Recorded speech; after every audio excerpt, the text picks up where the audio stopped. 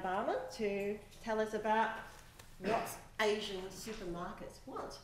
It's a, it's a very big question, and there's no simple answer, and you really can't generalise because there are bigger differences within a market than there are between markets, to be honest. However, in the spirit of, of today's uh, um, conversation, I'd just like to draw out some, I think, common elements that I think might provide some uh, signposts for the Australian industry.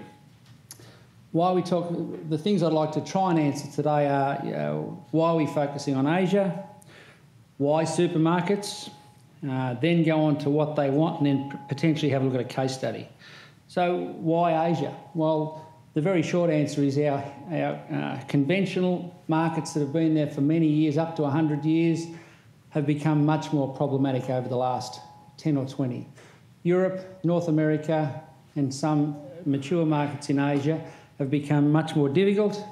Still big populations, you know, in those conventional markets of North America, Europe, still six, seven hundred million people, but ageing populations, economic growth slowing, if not static, um, and retailer power in some of those markets is equivalent to, if not stronger than it is here. And not to denigrate uh, retailers, we're talking about that today, but uh, there's some really interesting models working in those markets, but fundamentally, it's quite difficult for the grower to have the grower packer exporter uh, to uh, engage at a direct level. So, why Asia? That's the reason why some of our conventional markets are more difficult, our older markets. And, and remember that Australia was shipping apples into the UK over 100 years ago by sea in wooden cases. So, we talk about logistics today and the difficulties of logistics, and yet at a level we were able to actually export successfully uh, many years ago. And however, in those days, um, market access was a much less problematic issue. So, why Asia? And I'm sure you've heard many, many presentations about the opportunities in Asia, and, and it can be very frustrating, I know, because you can actually almost taste the opportunity, but are we actually taking that opportunity? In, in many cases, we're not. But the background is uh, increasing economies, you know, GDP growth of 5, 10%, up to 10%, population still growing.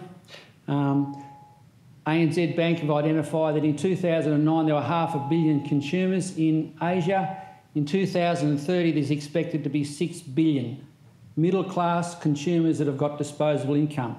A completely different story uh, to what, what's been happening in the past. Urbanisation is becoming a, a, major driver, so I'll probably use a number of China examples because I'm the manager for China, but I've lived in Asia for some time and had experience in many of the markets. And using China as an example, with the, the, the impact they've had on the international market in terms of exports, that's driven a whole change in their, in their overall e economic demographic.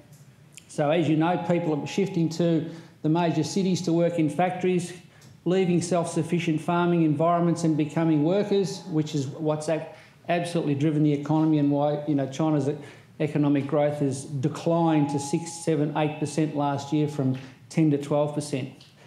Uh, and, and, as you know, China's expected to, well, will be the biggest uh, economy in the world very soon, if not already. But in, additionally to that, uh, Australia's been successful in signing some free trade agreements with Asian countries uh, Japan, Korea, Thailand, Singapore. We've, we've uh, inked a free trade agreement with China, and that's providing new opportunities because the tariffs are reducing. And we've seen in a country like Thailand where tariffs were previously 30%, they're now down for all fresh produce except table grapes down to zero. And that gives us a major advantage over our competitors in, in, in the Northern Hemisphere or the Southern Hemisphere, who in many cases are still paying those 25 or 30% tariffs.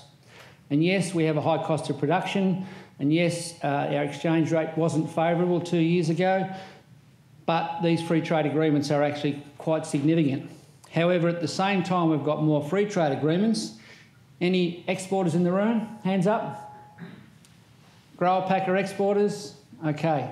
You'd be, you, you would know that as these markets have freed up in terms of tariffs uh, and, and non tariff quotas, with uh, non-tariff issues, we've actually had a commensurate increase in the market access issues related to sanitary and phytosanitary. So if you're, if you're an exporter 15 to 20 years ago, you would have been shipping product into most markets of, in Asia without any phytosanitary requirements, still doing a good job, but now most, of the, most of our markets are now much more problematic. We still have good access in mature markets who don't produce fruit like uh, Malaysia, Singapore, Hong Kong, but the big gorillas like Indonesia, uh, China have, after they've joined WTO, have started to implement more quarantine uh, procedures to protect their own industries, and that's had an impact on us. And the one, we've got a number of pests in Australia, but the one outstanding one that causes most grief is, uh, is Queensland fruit fly. Most of our trading partners don't have Queensland fruit fly, so it causes us a lot of problems. So the other thing that's happening in Asia, food safety standards are, or requirements are increasing, which again plays to our, one of our strong suits. Uh, and additionally in, in Asia, local production is declining. So in the past, where countries may well have been self-sufficient in food, as urbanisation, as mechanisation, as industrialisations happen, less people producing food, um, they become more, more, more uh, dependent on imports. And using Malaysia as an example, um, you know, Malaysia now is largely a palm oil plantation, and where they would have been self sufficient a lot of food products, their best use of their scarce land resource is to produce uh, oil, palm oil, so they've become an even stronger uh, importer. If we look at Australia's food exports, food exports in general, there's only two countries outside Asia that are in the top 10 markets for Australia. And if we talk about horticulture from Victoria, again, there are only two markets, um, New Zealand and the US, that are in that top 10 in terms of relative importance. So I think that's the story about why Asia is important and why Asian supermarkets are important. Um, if we have a quick look, and Patrick Bazzoni from, uh, from Rabobank identified that you can see in terms of Asia, in terms of uh, um, population growth and, and, and economy growth, you can see where China's right out there, still slowly increasing population. Um, India quickly increasing population, but uh, and the size of the dots give you some indication of, of population you can just see why those why Asian markets are still driving a lot of the consumption. Again, if we use China as an example, uh, China's expenditure on food, you can see across a range of food products, is just growing not exponentially, but growing at very very healthy rates. And with a population of 1.2 billion, uh, they're significant consumers. And if we look at fruit, in terms of fruit imports, you can see again why they've been such a why they've had such a big impact in the international market. So, so the opportunity is, I believe, we are close to the fastest growing region of the world where consumers are increasingly affluent and urbanised, where quality and safety are our point of difference, where Australia is a trusted, if expensive, supplier, and again, not with all due respect to Australian retailers, um, and we certainly are outproducing in many of our commodities, and without some dramatic increase in exports, uh, we'll see uh, a pretty significant effect. So, if we have a quick look, and again, many of you would have been and seen most of these countries, uh, many markets in Asia, there's been a fundamental change in the last 15 years from the wet market approach to uh, fresh sales where everything was sold in a wet market where people would shop daily, if not twice daily. Uh, and for grocery items, they'd be shopping at small, what we call mom and pop stores, where they'd buy their flour, their rice, their, their, their fast moving consumer goods, to now retailers that are world's best practice. And again, many of you would have been and seen supermarkets in Asia, and at their best, supermarkets in every country in Asia are superior to anything you'll see in Australia. I can say that quite confidently.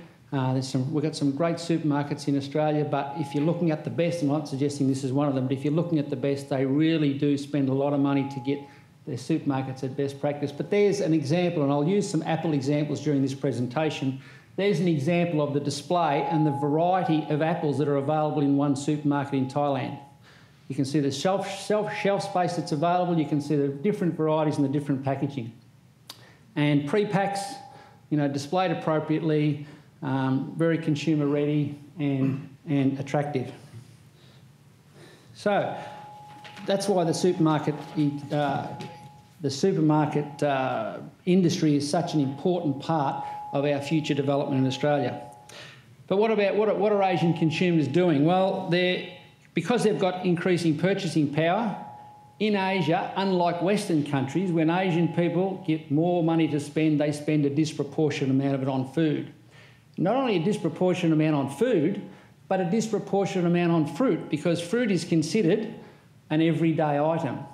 We're not fighting the rearguard action that we are in Australia to convince the you know, the, the Gen Xs, the Gen Ys, the, the, the, millenniums, whichever, whichever group we're looking at, who weren't reared with fruit. We're not having to fight a rearguard action to convince them why they should eat fruit. It is fundamentally part of the culture of Asia. So we don't have to jump that bridge. Um, and in general, again, I'm loath to generalise, but in general, imports are considered a superior product. So in many markets, if the product is imported, it's trusted and it's considered a premium product.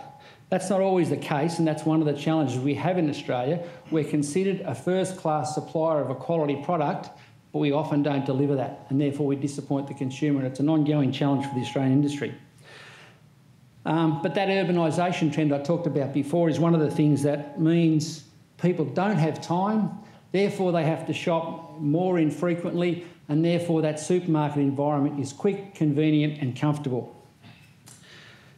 So, what about modern retail? What, what about this Asian uh, supermarket revolution? There really has been a revolution in the last 20 years. In, in the early 1900s, there were, in, in the early 1990s, there was not one supermarket in, in China.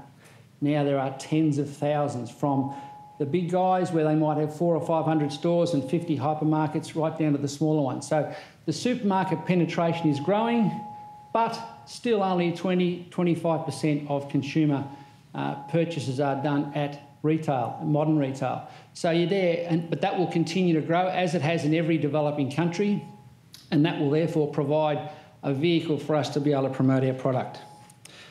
And food imports are growing, fresh food imports, particularly fruit, are growing much faster than fast moving consumer goods.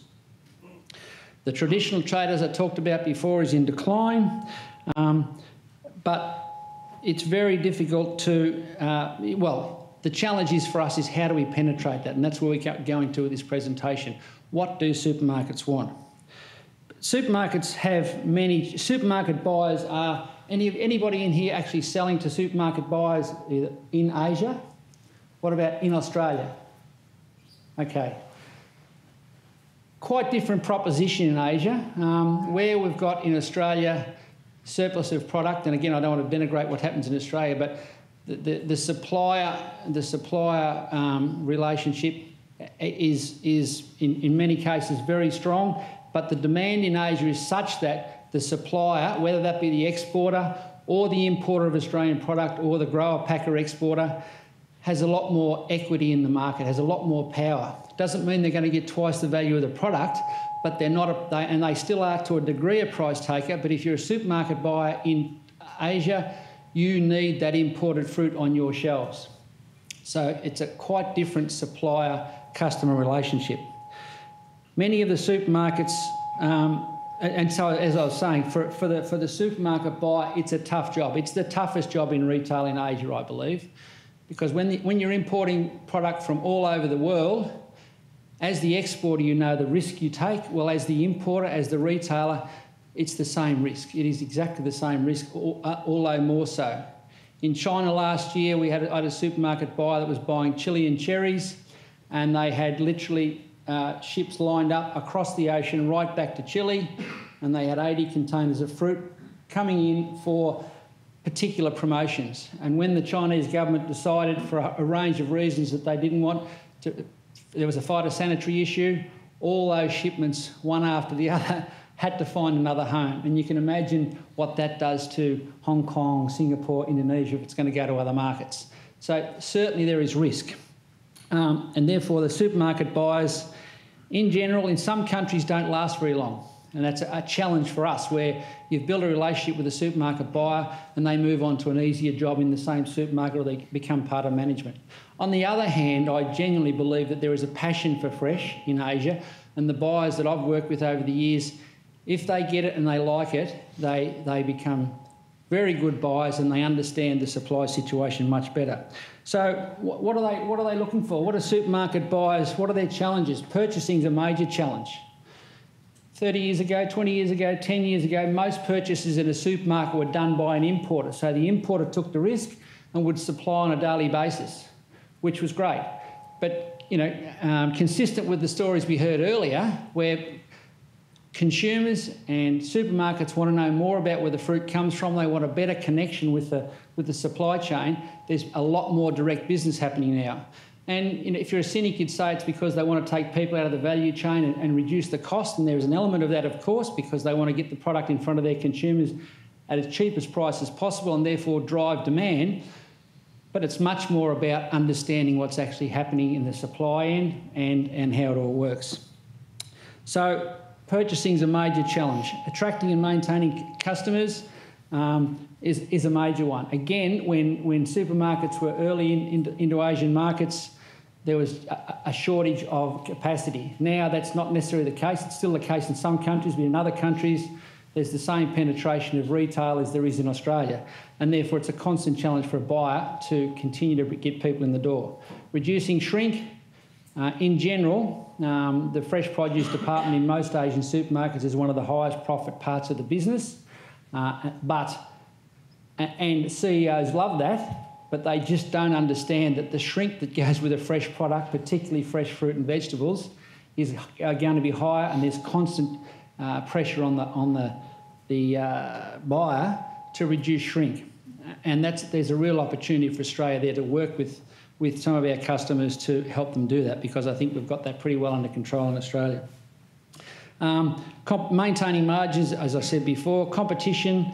Um, it's very common for a Carrefour buyer to step over three or four times a day to the Tesco store over, over the road to see what the price is, and there's a constant challenge on price, and they'll drop a baht or a dollar or a peso based on trying to drive price competitiveness, which is not in our long term interest, of course, but competition's a, a constant battle. And I believe fundamentally, which leads into the rest of the presentation, is that Asian buyers are genuinely looking for partners, not suppliers. They want people that are invested in their business. So, um, you know, what are the key issues they're looking for? And a bit like Kerry said before, it's all about the C's. Um, I think it's about commitment, it's about connection, it's about a consumer focus, it's about consistency and quality in terms of building sales, it's about innovation, cutting edge innovation, creativity, and cash to promote sales. It's not all about above the line promotions. Often people think that this is how you buy business, how you buy goodwill. It's one of the lowest of lowest importance, but nonetheless still one of the key issues. So commitment to me means just a long-term investment in the business development. It's not about putting product onto the ocean and saying, bye bye, I hope it works for you. It's about what's a program we might be able to invest in? How can I, in my business as a supplier, whether I'm an exporter, a packer, or a grower, what can I do down here to help your business grow up there? Not easy. And, and, the, and the, examples that, uh, that Kathy gave before were fantastic examples of where individual companies are doing that in the US. And there are some examples in Australia. But we've got a different situation, much smaller population, a more fragmented industry. We don't get hundreds of millions of dollars every four years from the government, from the farm bill to, to grow promotion, to be able to provide promotion, promotions in Asia. So we have got a slightly different situation. But that, that commitment is the thing that sustains business in good, good times and bad, and it's what maintains ongoing business. The price is always an issue that needs to be negotiated, but the commitment to being involved in the business is a fundamental one. And, you know, as both the previous speakers said, many consumers now want to know who the growers are, who the suppliers are, and, and the retailer is really our window to the consumer. So, consumer focus um, look, the buyer is our customer. When we talk to the buyer, many of us think that the buyer is our customer. This is the price. Thank you, good. Over to you. Um, Walmart have a saying that says, uh, "We are the window pane between the customer, from the supplier to the customer." We are not the person that's promoting your product. We're just providing a vehicle and an opportunity for you to do your job in Asia. Now, again, the, the brands we saw before from the US may well be able to do that. It's not easy for many of our companies, but we've just this culture change is quite important in terms of if the consumer gets a bad experience, it reflects on everybody.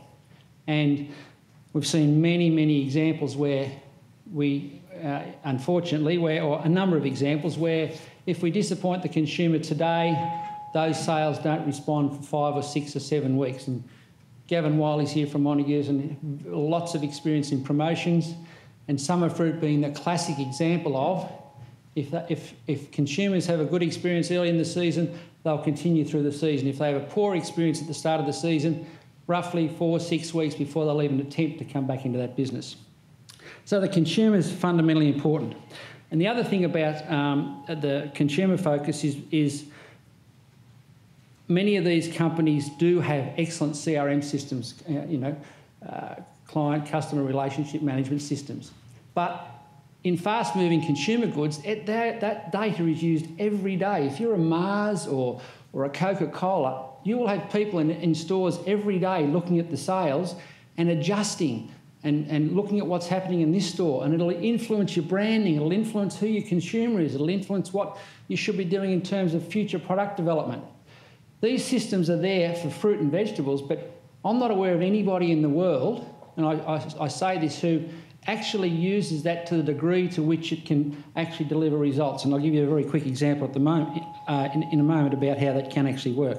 So the consumer focus is fundamental, and it's not about the retailer focusing on the consumer. It's about us, to the extent that we can, focusing on the consumer.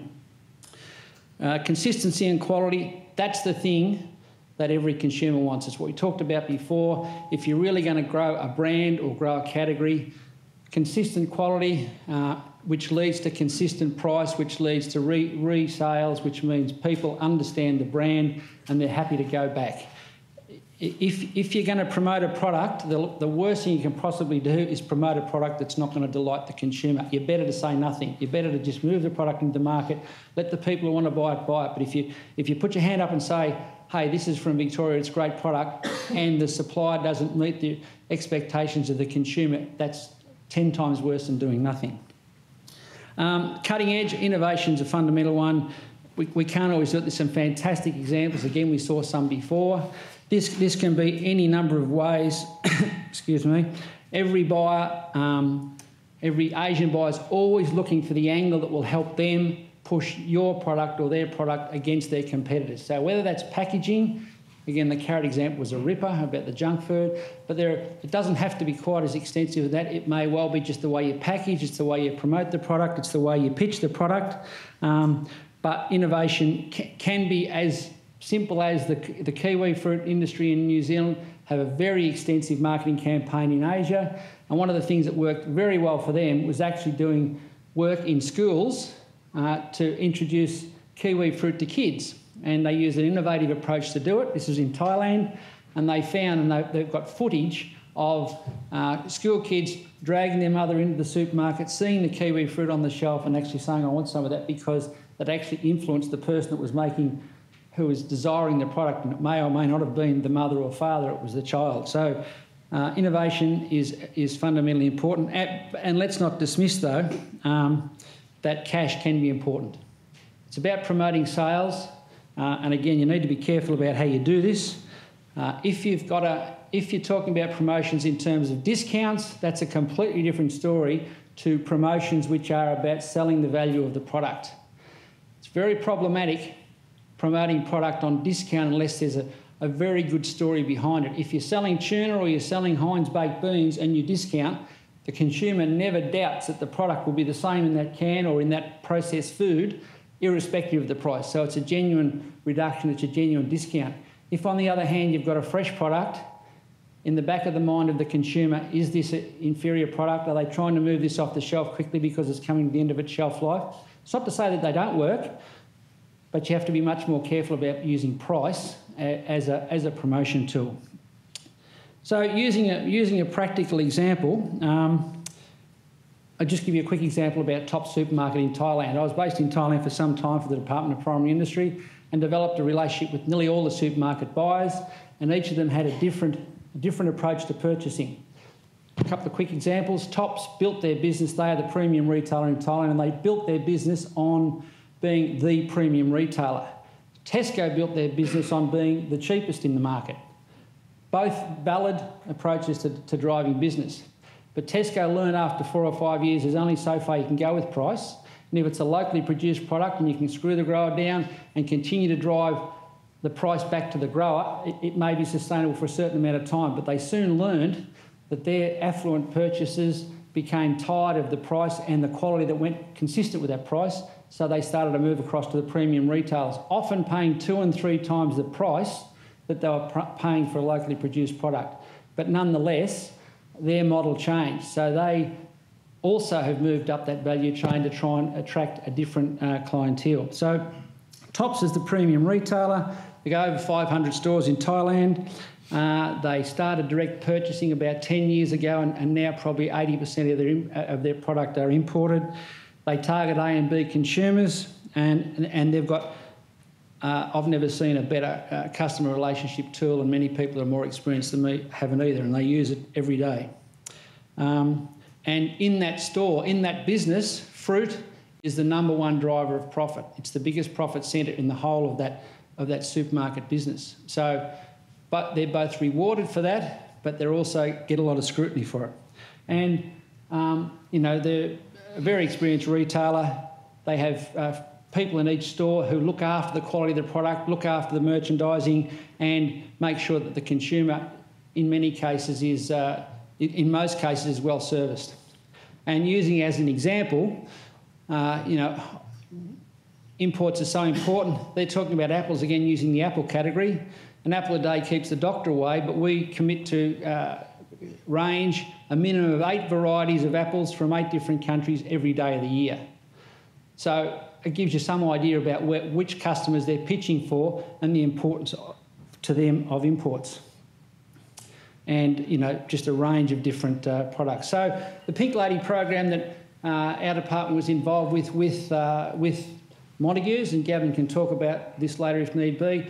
Looked at all those characteristics of, of commitment, connection, consumer focus, uh, consistency and quality, some innovation, and some promotional budgets. So the buyer visited Australia, we introduced them to a range of suppliers. The background to the Pink Lady story is the apple industry in Australia exports less than 1% of production, where it used to drive exports 40 years ago. The industry realises this is, this is quite a dangerous situation given production is growing, given we, we're, on the, uh, we're at risk of some serious imports from New Zealand and potentially from North America. So there's a drive for the industry to increase exports. Um, and this was an opportunity for us to do some marketing of the Pink Lady brand in Asia. The irony is the Pink Lady brand is the probably one of the best known brands in the, in the world, grown all over the world. Australia owns the brand and APAL gets benefit from the levies, but we get next to no uh, export business happening overseas, partly because of our cost, but partly because the domestic market's been a good market for our growers and there hasn't been a big impact on impetus to actually export. So a range of activities were, were conducted. So the buyer came and visited grower packer exporters, uh, decided to partner with Montagues, agreed on a retail program, uh, we agreed on a promotional program, uh, we organised a launch event uh, with Thai officials and Australian government officials. The Australian, grower, Australian growers visited Thailand to witness the program and not just the supplier but others to just see if this is a model that might work for them in different markets. There's a range of promotional activities conducted for store prizes for the most effective uh, promotion in an individual store to try and, to try and incentivise the store managers. Uh, premiums for the buyers, so they got a gift. And again, this is a, a, another way of actually driving sales without giving a discount. We know if you give a price discount, it will drive sales while the discount's on. But when the discount drops off, unless there's a real value proposition, it drops off. And then uh, an SMS program, so because they've got such a great customer relationship manager tool, they know who buys apples every day and they know what they buy. So there was an SMS campaign out to the 8,000 up to 25,000 major buyers, which was basically saying pink ladies are in store. Here's an opportunity to try an Australian apple, again, which was very successful. Active sellers, promoters, and publicity. Evaluated the program. The buyers visited Australia again to confirm future programs, and that program's now in its fourth year that program, I think, demonstrated quite a lot of those commitment, uh, connection, customer focus sort of attributes. Um, and using just a few shots, this is Sapaldi Namanakite, who is the buyer for Tops, a diminutive young woman, but uh, an absolute tiger of a buyer, and uh, has driven that business uh, to being, as I say, the number one profit centre. So this was, and, and, the major licensee for Pink Ladies, Peter Richardson, was one of the, the companies that, that she met. Then we ran a launch event with the CEO of, of Top Supermarket with an Australian Pink Lady branding program. At the time, we took over other members and the companies that, that we talked about before. Batlow were there. The major apple producing companies in Australia all visited to see the success or otherwise of this. And we had Australian Embassy staff and Austrade staff and the major managers of the, of the company there. Branding, promotional materials, and then the buyer providing advice to the industry about what their requirements are. Talking about similar sorts of things. What are the things that you can help me with to drive my business? If you can do this, I think we can do that. If, if you're prepared to make that commitment, this is what can happen. And this particular buyer is very, very open and very transparent. And trust me, their fresh produce is the dearest in the market by far, sometimes twice the price of, of competitors. And yet their value to their consumers is such that they are able to command those margins. And these are the Australian companies that wanted to learn how that worked. Um, and you know, fresh uh, active sellers, uh, publicity company involved with the promotion. Claire Fitchett, hand up, Claire. Claire Fitchett with some of the innovation, including cars and, and buses with signage on it uh, and in, in, store. The growers, the, sorry, the growers uh, at a networking function talking about their business and how they'd like to drive their business, and then a follow-up visit after the first year's program with a range of Asian companies who are also interested after, after the success of this one to actually engage in a program. So that's the journey that was that took place with Pink Lady apples. I hope it, I think it demonstrated some of those some of those uh, elements that I believe are what Asian supermarkets want. I genuinely believe they want that commitment. They want to see back to where the product is is grown, and they want a long-term commitment, not just a, a short-term supply arrangement. They want connection with the grower. They want, and people talk about relationships in Asia. It's a cliche, but fundamentally that's what drives business and what sustains business. The consumer focus, it's our responsibility to understand what the consumer wants. Um, consistency and quality is a fundamental uh, requirement if you want to build sales. We do need innovation if we're going to se separate ourselves from some of our competitors, and we will have to, we will have to fund. If the presumption is that export markets have better returns than domestic markets, that's not the right parameter, not the right premise. The premise is if we want to diversify from what's an already oversupplied domestic market and have some diversification for our industries, we need to build these deep relationships in Asia.